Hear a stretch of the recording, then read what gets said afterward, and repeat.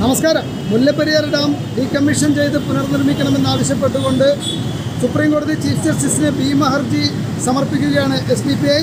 ഇതിന്റെ ഭാഗമായി പെരുമ്പാവൂർ മണ്ഡലം കമ്മിറ്റിയുടെ നേതൃത്വത്തിൽ പെരുമ്പാവൂർ യാത്രി നിവാസിൽ വെച്ച് ഒപ്പ് ശേഖരണം നടക്കുകയാണ്. വാർത്തകളാണ് കേരളത്തിലെ ഇടുക്കി ജില്ലയുടെ ഒരോരം ചേർന്ന് നിൽക്കുന്ന മുല്ലപ്പെരിയാർ ഡാം അതിന്റെ അപകടാവസ്ഥയെക്കുറിച്ചുള്ള പഠനങ്ങളും ചർച്ചകളും തുടങ്ങിയിട്ട് ഏകദേശം പത്തിരുപത്തിയഞ്ച് വർഷത്തിലേറെയായി.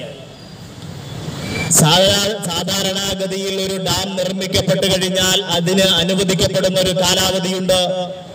അത് കേരളത്തിൽ മാത്രമല്ല ഇന്ത്യയിൽ മാത്രമല്ല ലോകത്ത് എവിടെയാണെങ്കിലും നിർമ്മിക്കപ്പെടുന്ന ഓരോ ഡാമുകൾക്കായാലും ബിൽഡിങ്ങുകൾക്കായാലും റോഡുകൾക്കായാലും തോടുകൾക്കായാലും കെട്ടി ഉയർത്തപ്പെട്ട ഏത് സൗധങ്ങൾക്കായാലും അത് നിർമ്മിക്കപ്പെട്ടത് മുതൽ നിശ്ചിത കാലയളവ് വരെയാണ് അത് ബലത്തോടുകൂടി നിലനിൽക്കുക എന്ന് അതുമായി ബന്ധപ്പെട്ട് റിസർച്ച് നടത്തുന്ന പഠനം നടത്തുന്ന വിദ്യാർത്ഥികളും അത് ഗവേഷണം നടത്തുന്ന ആധികാരികമായ ഗവേഷണ കേന്ദ്രങ്ങളും സ്ഥിരപ്പെടുത്തുമ്പോൾ സ്ഥിരീകരിച്ചു തരുമ്പോൾ നൂറ്റി ഇരുപത്തിയഞ്ച് വർഷത്തിലേറെയായി നിലനിൽക്കുന്ന ഒരു ഡാം കേവലം അറുപതോ എഴുപതോ വർഷത്തെ ആയുസ് മാത്രമാണ്. അതല്ലെങ്കിൽ ശക്തമായ ബലത്തോടുകൂടി ജലസംഭരണി ശേഷിയോടുകൂടി നിലനിൽക്കാൻ ഒരു ഡാമിന് കഴിയുന്നത് അറുപതോ എഴുപതോ വർഷമാ മാത്രമാണ് എന്ന് ലോകത്തെ വിവിധ സംഘടനകളും ഏജൻസികളും സ്ഥിരപ്പെടു സ്ഥിരപ്പെടുത്തി മുന്നോട്ട് പോകുമ്പോൾ ശാസ്ത്രത്തെ ഏറ്റവും വലിയ ഏറ്റവും വലിയ മാധ്യമമായി ഉപയോഗപ്പെടുത്തുന്ന ഈ ഇരുപത്തിയൊന്നാം നൂറ്റാണ്ട്.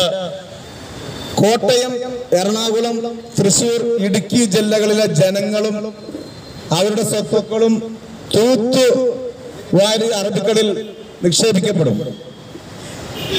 ഫലത്തിൽ വടക്കൻ കേരളവും തെക്കൻ കേരളവും മാത്രമാവും. പക്ഷെ പിണറായി മുഖ്യമന്ത്രി സേഫാണ്. പിണറായിയുടെ വീട് കണ്ണൂരായതുകൊണ്ട് ഇത് ബാധിക്കില്ല. അദ്ദേഹം നിയമസഭയിലാണെങ്കിൽ അവിടെ തിരുവനന്തപുരത്തായതുകൊണ്ടും ബാധിക്കില്ല. പക്ഷെ ഈ നാല് ജില്ലകളിൽ നാല് ജില്ല എന്ന് പറഞ്ഞാൽ കേരളത്തിന്റെ നട്ടല്ലായ നാല് ജില്ലകൾ എൻ എയർപോർട്ടും തുടങ്ങി എറണാകുളം ജില്ല അതിപ്രധാനമായ എറണാകുളം ജില്ലയും കോട്ടയം ജില്ലയും എല്ലാം തൂത്തുവാരി ഇവിടുത്തെ ജനങ്ങൾ കൊല്ലപ്പെടും.